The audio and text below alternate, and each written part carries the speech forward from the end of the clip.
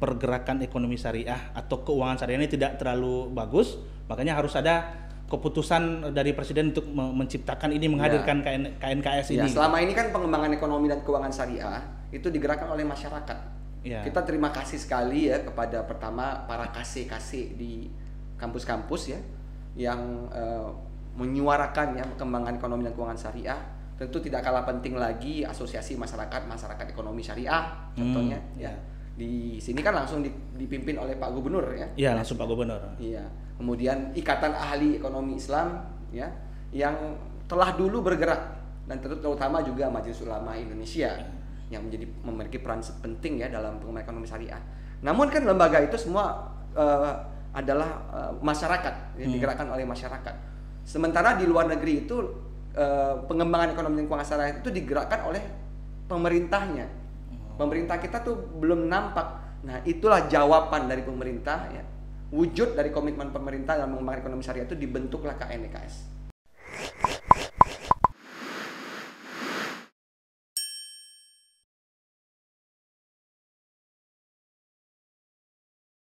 Baik, Bismillahirrahmanirrahim. Assalamualaikum warahmatullahi wabarakatuh.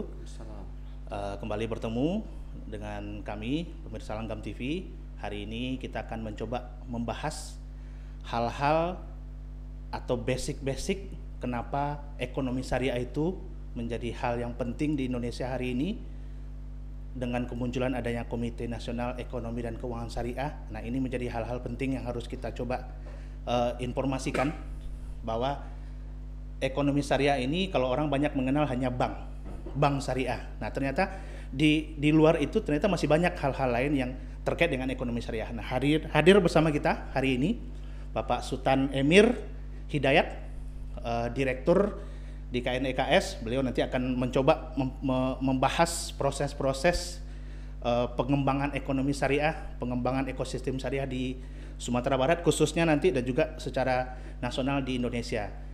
Nah, kita akan coba kenal dulu lebih dekat ini terkait dengan KNEKS. Apa itu KNEKS? Kenapa harus ada KNEKS? Nah, hadir silakan perkenalkan diri dulu. Uh, saya manggilnya Uda mungkin ya. Siap. Uda, agak karena beliau adalah uh, orang Sumatera Barat, asli Sumatera Barat dari Pagaruyung ya, Daya. Saya panggilnya Uda, nggak usah panggil bapak lah, terlalu terlalu formal. Iya. Silakan Uda perkenalkan diri dulu, Uda. Baik. Bismillahirrahmanirrahim. Assalamualaikum warahmatullahi wabarakatuh. Waalaikumsalam. Alhamdulillah wassalatu wassalamu ala Rasulillah amma ba'du. Rabbi syrah li sadri wa yassir li amri wahlul 'uqdatan min lisani yafqahu qawli. Terima kasih nih udah Rifka ya dan juga tim dari Salam TV ya. Langgam TV. Langgam TV dari Langgam TV yang luar biasa inisiatifnya. Pada hari ini kita melaksanakan sebuah acara podcast ya terkait pengembangan ekonomi dan keuangan syariah.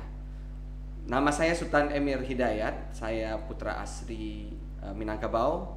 Uh, saya dilahirkan di Padang 11 April tahun 1981 dan alhamdulillah mengecap uh, pendidikan sekolah dasar di SD Baitur Rahmah.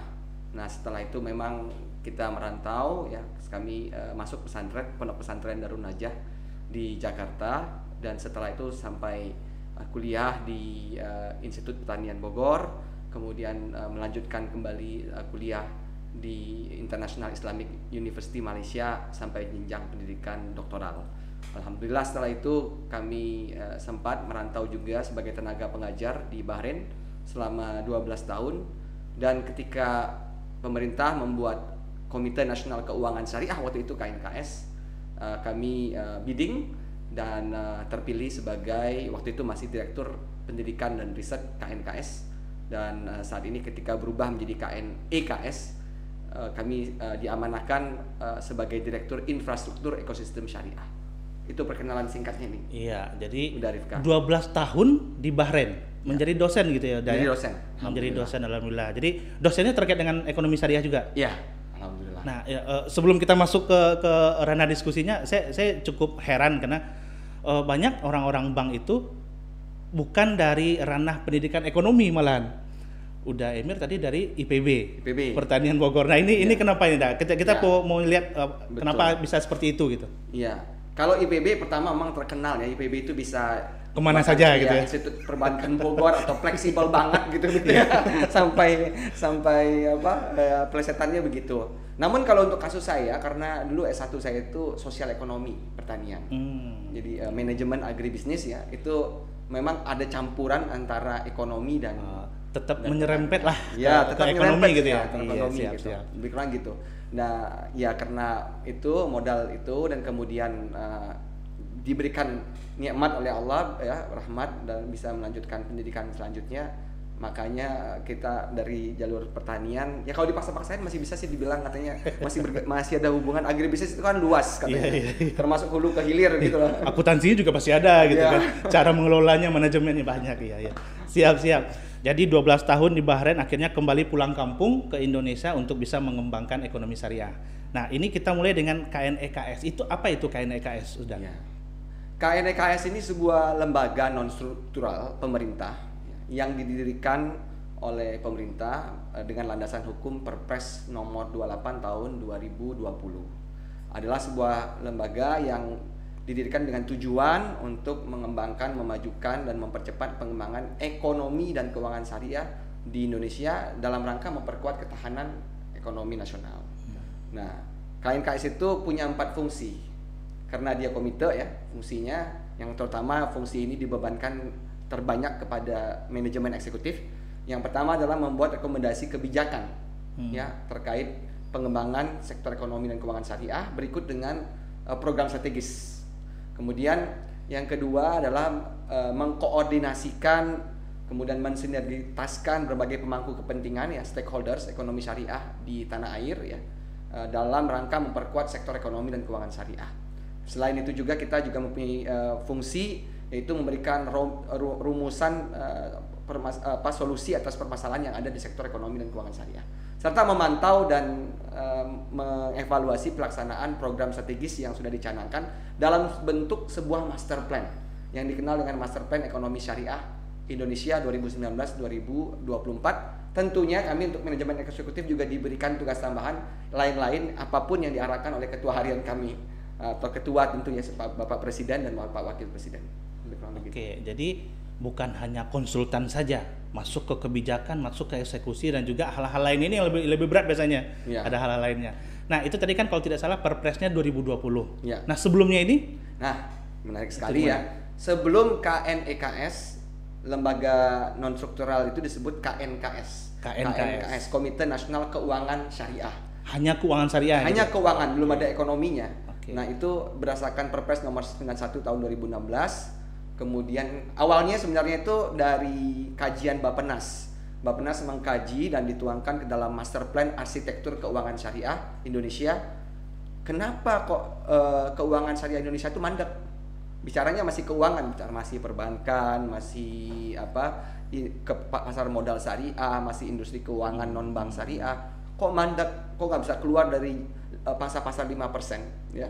Kemudian dari kajian Bappenas diperlukan sebuah institusi formil pemerintah yang bisa mengkoordinasikan eh, berbagai mangku kepentingan ya terutama kementerian dan lembaga ya untuk bersama-sama bisa memajukan keuangan syariah. Nah, rekomendasi Bappenas ini diambil oleh Bapak Presiden. Hmm. Langsung mengeluarkan Perpres nomor 91 tahun 2016, kemudian di launching di tahun 2017 Komite Nasional Keuangan Syariah. Begitu. Jadi landasan awalnya karena pergerakan ekonomi syariah atau keuangan syariah ini tidak terlalu bagus, makanya harus ada keputusan dari presiden untuk me- menciptakan ini menghadirkan KN, KNKS Ya, ini. selama ini kan pengembangan ekonomi dan keuangan syariah itu digerakkan oleh masyarakat. Ya. Kita terima kasih sekali ya kepada pertama para kasih-kasih di kampus-kampus ya yang eh, menyuarakan ya perkembangan ekonomi dan keuangan syariah. Tentu tidak kalah penting lagi asosiasi masyarakat masyarakat ekonomi syariah contohnya Hmm, ya. ya. Di sini kan langsung di- dipimpin oleh Pak Gubernur ya. Iya langsung Pak Gubernur. Iya.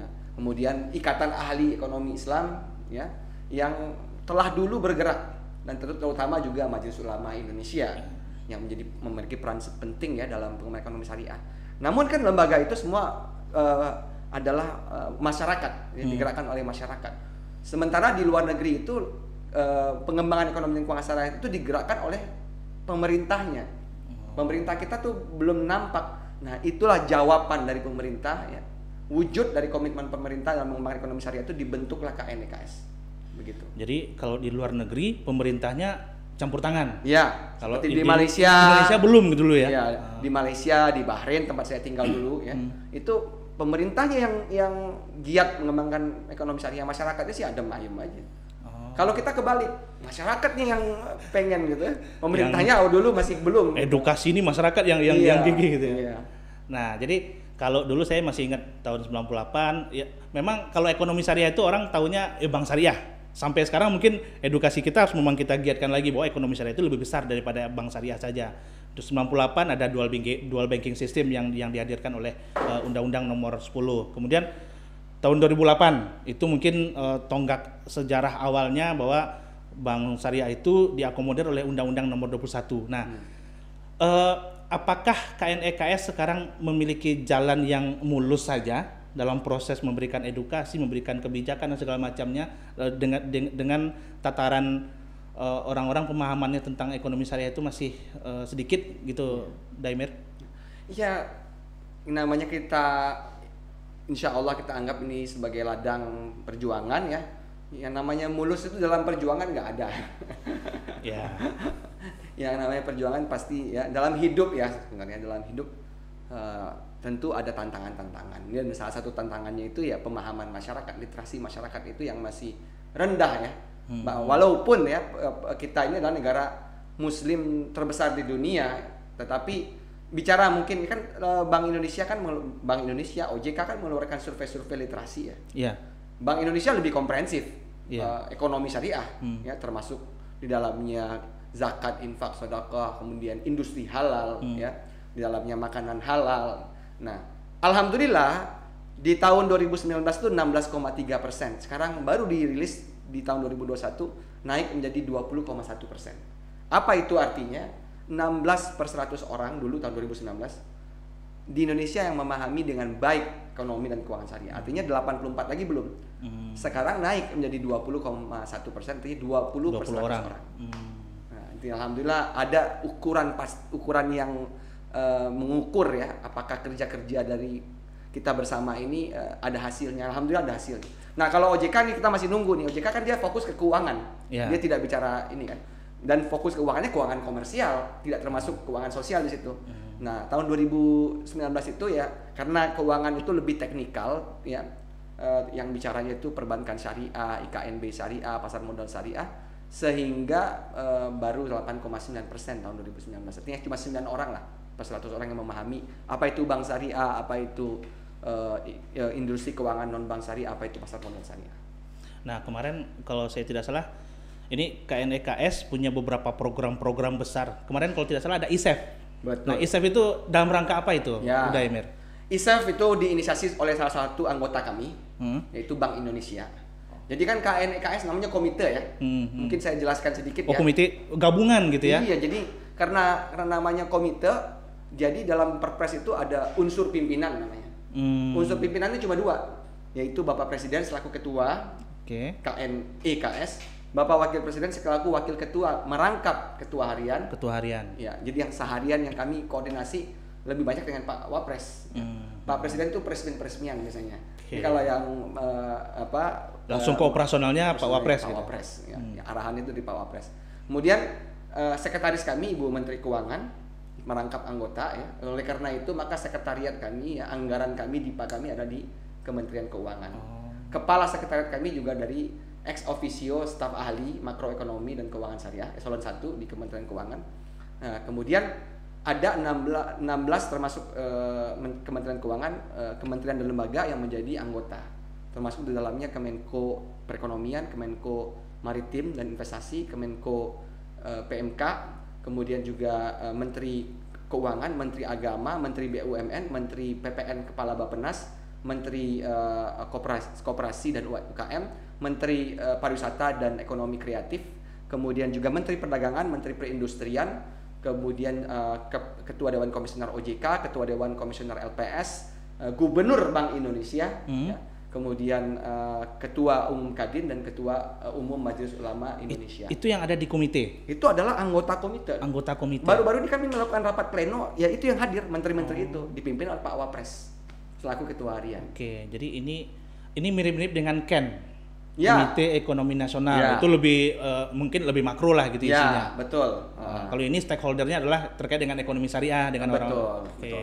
Nah, karena keterlibatan kementerian ini di dalam ekonomi dan keuangan syariah, setiap kementerian yang anggota KNEKS, kementerian dan lembaga maksud kami, Hmm. ya, itu punya program-program yang berkaitan dengan ekonomi dan keuangan syariah. Ya, Kemenperin punya kawasan industri halal, ya. Eh, Kemenak ya, tentu dengan BPJPH-nya, ya.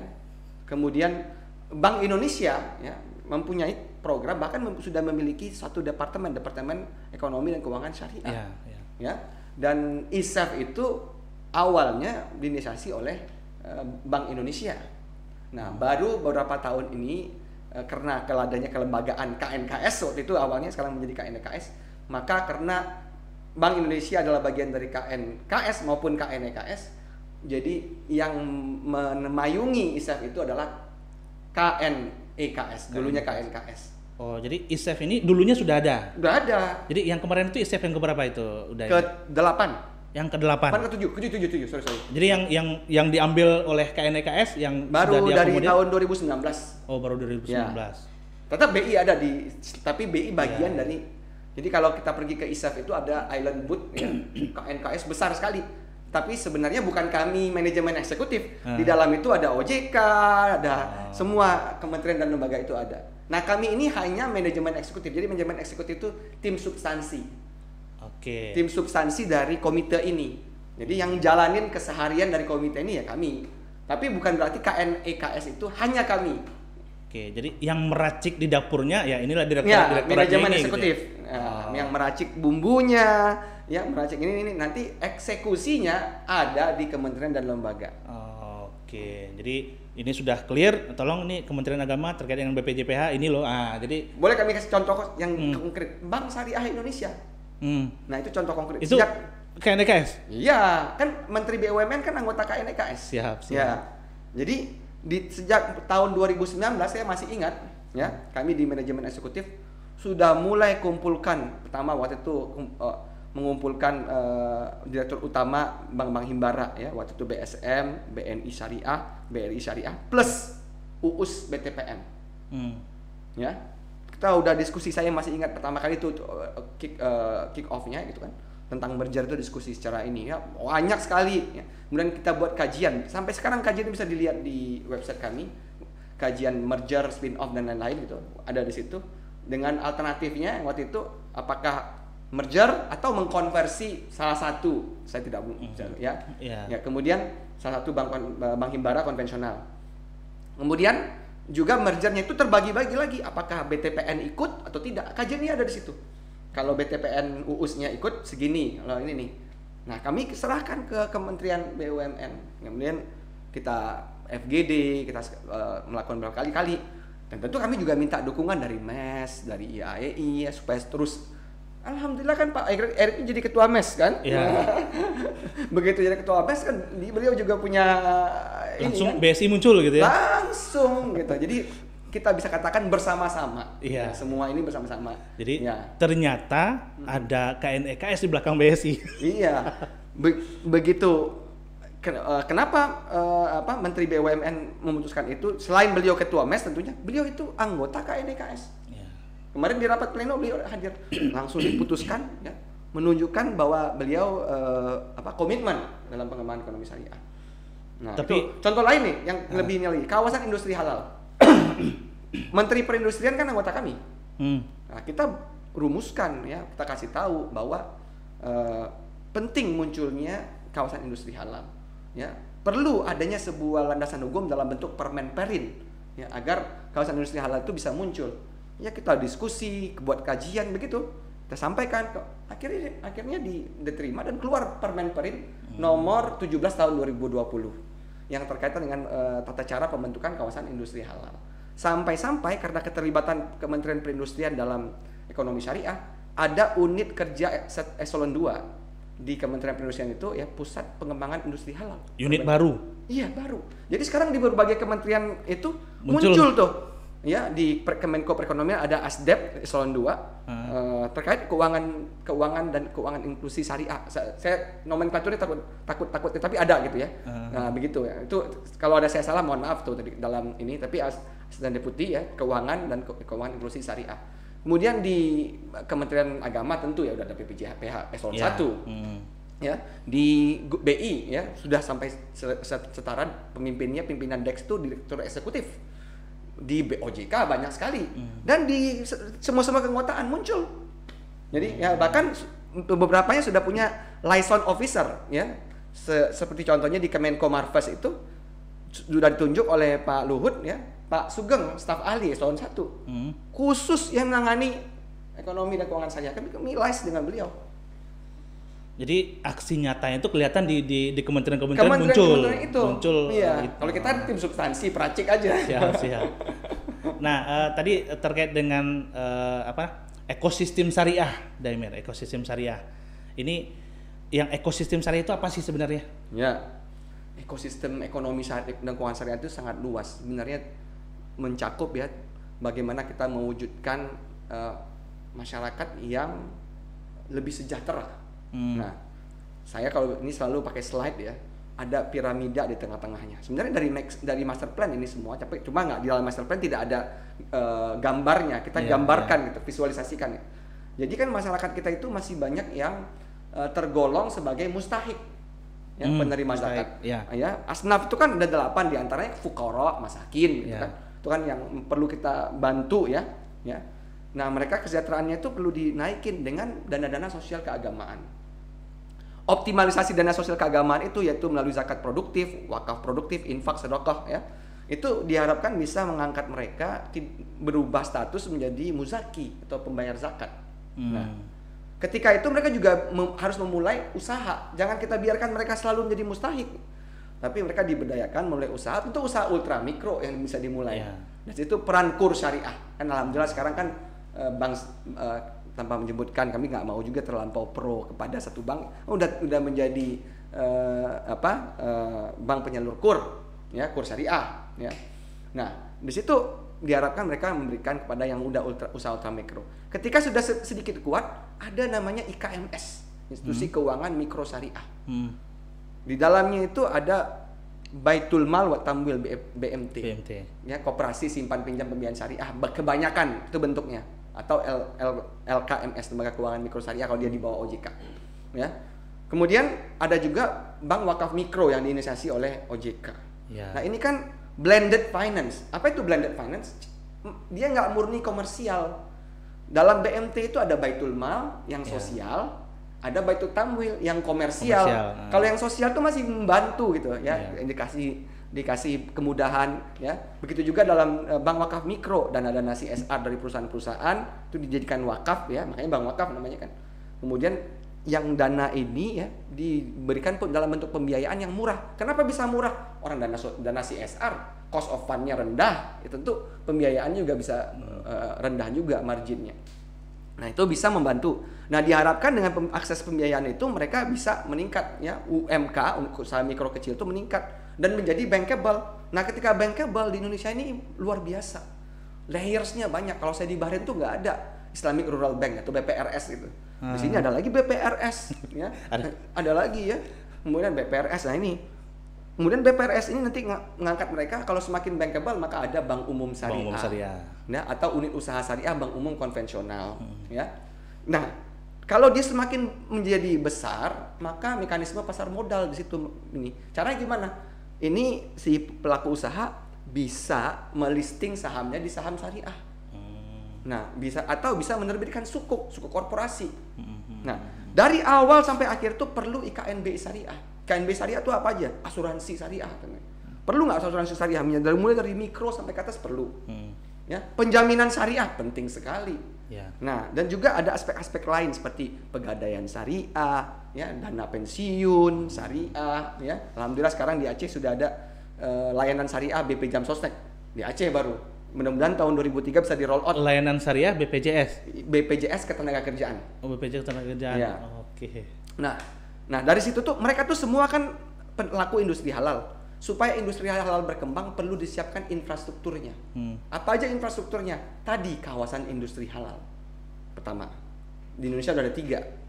Yang kedua, laboratorium halal. Lah, buat apa laboratorium halal? Kita kan ingin mempercepat sertifikasi. Iya. Nah, LPH perlu laboratorium. Nah, laboratoriumnya harus dibangun kan agar bisa mempercepat proses sertifikasi. Kemudian halal logistik, logistik halal. Kenapa kalau logistik? Bahannya sudah baik, sudah halal, ya, toyib, ya. Tapi dalam proses distribusinya, kalau ada pencampuran dengan zat-zat yang Ah. tidak halal, jadi terkontaminasi. Nah, dari hulu ke hilir itu harus dipastikan.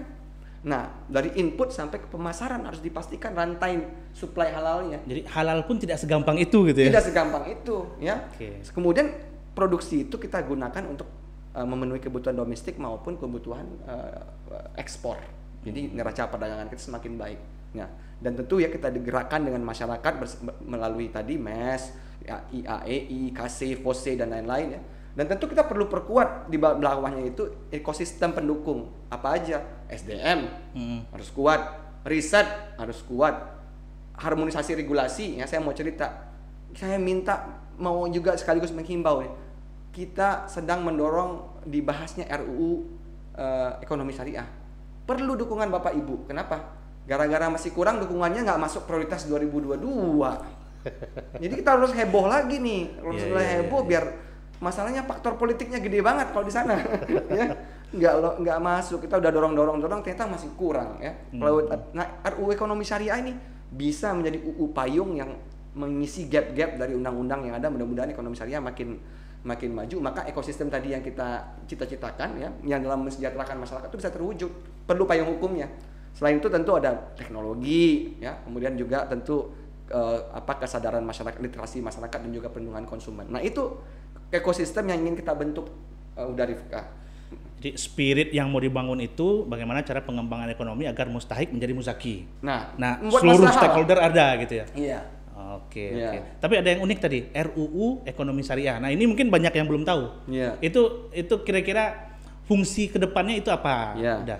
Saat ini kita sudah memiliki peraturan perundang-undangan ya, baik di sudah selevel undang-undang, perpres ya, maupun perda ya, maupun eh, pergub ya atau perbub puru perwali itu udah ada Hmm, ya hmm. yang berkaitan ekonomi syariah tapi scattered apa namanya tersebar-sebar dan sektoral Ya. Ya, kita udah punya undang-undang zakat, undang-undang wakaf, ah. undang-undang perbankan syariah, undang-undang surat berharga syariah na- nasional.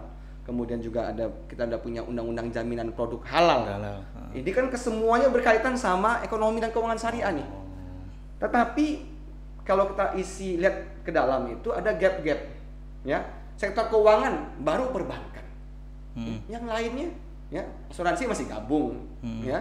Kemudian eh, dana pensiun bel- ma- masih belum ya, jelas. gitu. Nah, itu menjadi payung hukumnya itu nggak nggak nggak merata gitu, hanya sektoral yang kuat-kuat gitu ya. Nah, belum lagi kita bicara industri halal, baru jaminan produk halal. Belum yang pengembangan-pengembangannya yang lain gitu. Zakat juga begitu kan sedang-sedang di, di banyak eh, hal-hal yang perlu direvisi. Nah, wakaf juga gitu ya, banyak yang sedang diusulkan untuk direvisi. Nah, bagaimana nih? Kita perlu sebuah undang-undang payung yang mengisi gap-gap ini. Hmm. Nah, gap-gap ini termasuk tadi yang belum belum banyak dibahas di bagian sektor realnya di ekonomi yang justru potensinya besar ya.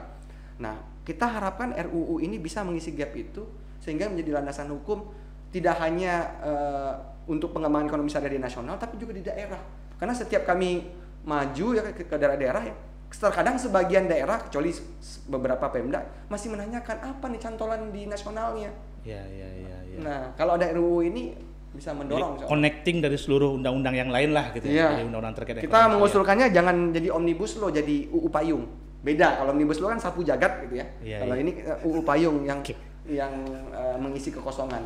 Oke, jadi tadi eh, KNDKS program kerjanya kebijakan dan segala macam ekosistem syariah, spirit yang dibangun dan segala macamnya. Ini kira-kira cita-cita Indonesia terkait dengan ekonomi syariah apa sebenarnya udah? Cita-citanya luar biasa, udah Rifka. Ya, Indonesia itu dalam Meksi itu visinya ya men- Indonesia yang mandiri, makmur dan madani dengan menjadi pusat ekonomi syariah terkemuka di dunia. Di dunia. Di dunia, roadnya sudah nampak, tetapi belum ya. Kenapa roadnya saya bilang nampak? Lihat pengakuan internasional ya terhadap ek- ekonomi dan keuangan syariah Indonesia. Sebelum adanya keterlibatan pemerintah dalam pembentukan KNKS maupun KNEKS. Kalau kita lihat dalam ranking-ranking di dunia, Indonesia itu di luar 10 besar. Hmm. Di luar 10 besar.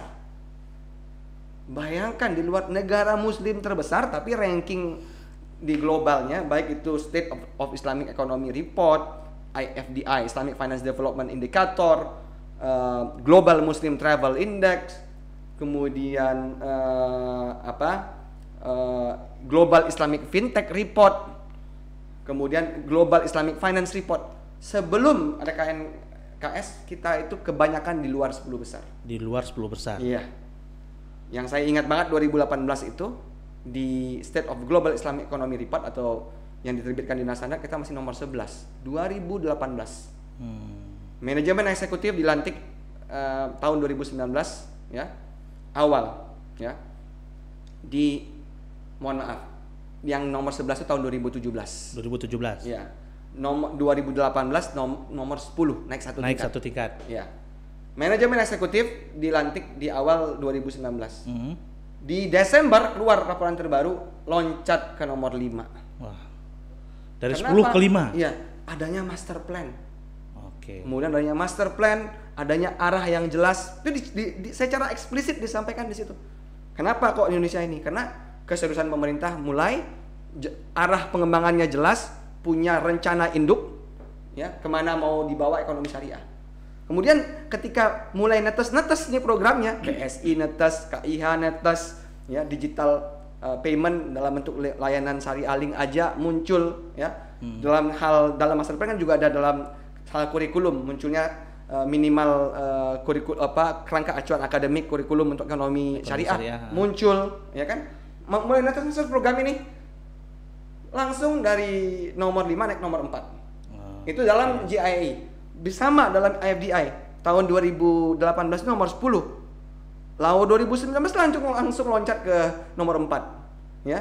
Dan tahun ini alhamdulillah untuk satu ya dalam Global Islamic Finance Report kita udah jadi nomor satu. Nomor satu. ya. Karena dia dilihatnya itu lebih luas aspeknya. Kan dia kriterianya mac- macam-macam. Ada yang empat kriteria ada yang delapan. Ketika delapan kriteria ketika dilihat dana sosial keagamaan pengembangan eh, sosial keagamaan kita keuangan sosial syariah kita ternyata kita terbaik keuangan sosial nah begitu juga dalam Global Islamic FinTech Report udah masuk nomor 4 GMTI nomor 4 sekarang ini kita top 4 Alhamdulillah di seluruh di seluruh eh, nggak ada yang di bawah top 4 semuanya kita top 4 di seluruh ranking tapi apakah itu membuat kita jadi Ya. ya ah, itu tantangannya nih orang Apa kita nih puas? penyakitnya nih Iya. cepat puas Iya, begitu iya. langsung itu langsung terlena wah Iya, iya. udah ini nih enggak justru itu jadi harusnya jadi motivasi Mhm.